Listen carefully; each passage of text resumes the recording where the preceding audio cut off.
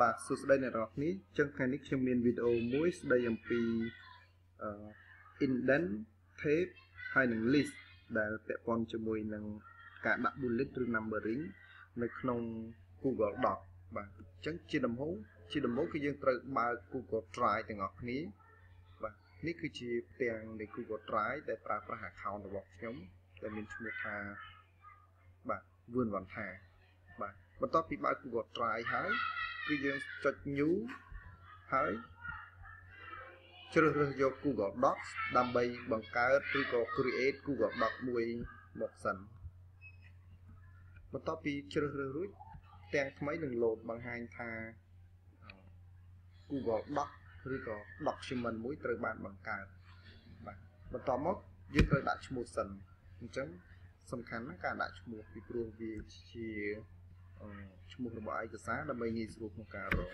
ឥឡូវឧទាហរណ៍ថាខ្ញុំដាក់ឈ្មោះថា Google Doc ហើយឯកសារនេះគឺវាពាក់ព័ន្ធជាមួយនឹងអឺបាទពាក់ព័ន្ធជាមួយនឹង indent page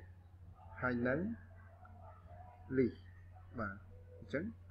ខ្ញុំសរសេរឈ្មោះនឹងចូលតែម្ដង indent page and list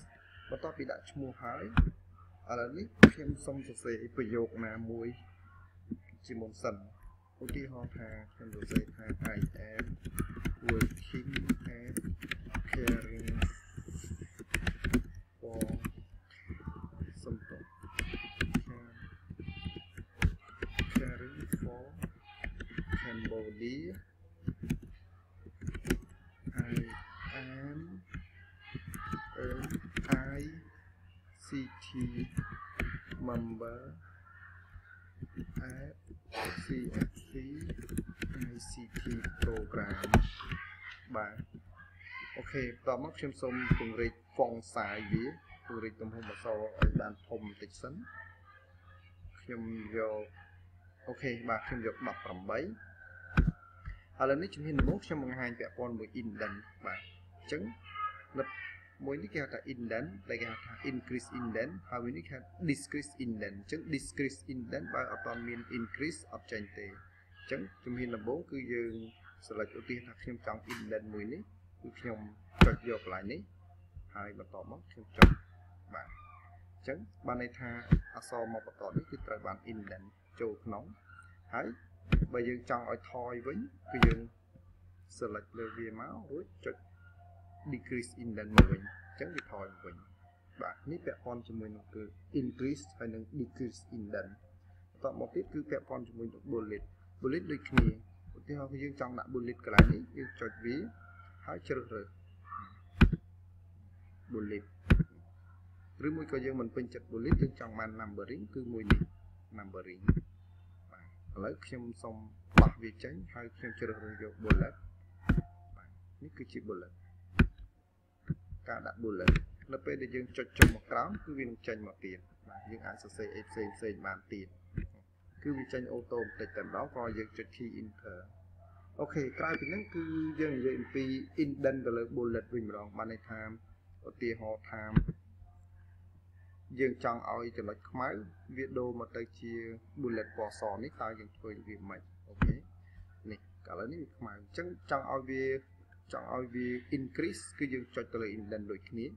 បាទចុចមួយមកវាចេញហើយឧទាហរណ៍ថាយើងសេថា CSC ICT program has for school school target បាទអូខេ យើងចុចមកទៀតតមកយើងចង់ប្រាប់ថាអា school target នេះ school target នេះមានប្រមាណយើងត្រូវការ indent ចូលក្នុងវិញអញ្ចឹងយើង indent តទៀតមកអូខេនេះវាមាន3ជំហានទី1ទី2ទី3វាមានដូចជាអឺបាទ Aran High School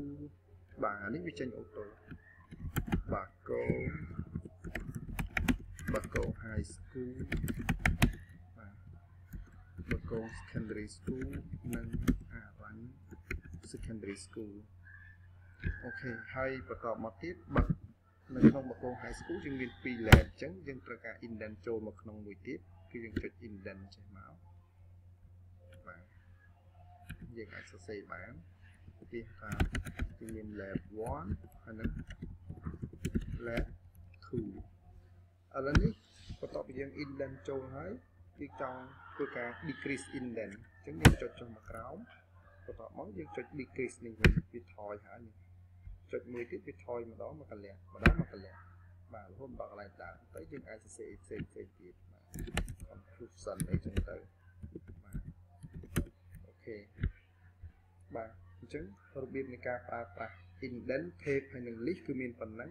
ហើយសូមយើងសាកល្បងធ្វើទាំងអស់គ្នាបាទសូមអរគុណ